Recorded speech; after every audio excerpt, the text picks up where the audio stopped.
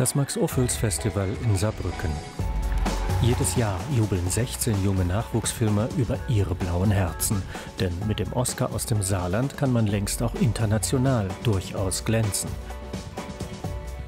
Dabei hatte alles einmal so, nun ja, unaufgeregt begonnen.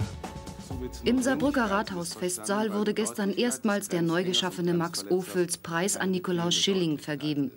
Schilling erhielt die Auszeichnung für seinen neuesten Film Der Willy Busch Report. Den Dank an alle, die dazu beigetragen hatten, einen solchen Filmpreis in der Geburtsstadt von Max Ophüls zu schaffen, würdigte Oberbürgermeister Oskar Lafontaine. Im Nachhinein geben kann. Besonders ausgelassen wirkt es nicht, das erste Saarbrücker Filmfestival im Namen von Max Ophüls, das der damalige Kulturamtsleiter und Filmfan Albrecht Stubi ins Leben gerufen hatte. Doch immerhin 700 Menschen kamen in das winzige Kino, schauten eine Handvoll Filme und diskutierten bis spät in die Nacht darüber. Am letzten Morgen verkündete dann der Filmkritiker Peter W. Jansen mit kratzigem Pullover und kratziger Stimme das Votum der ersten Wettbewerbsjury.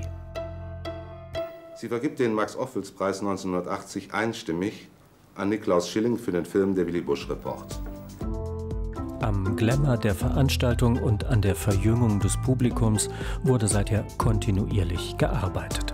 Geblieben sind die blauen Herzen, die Begeisterung für den deutschen Nachwuchsfilm und eine gewisse Vorliebe für kratzige Wolle, selbst bei den Preisträgern.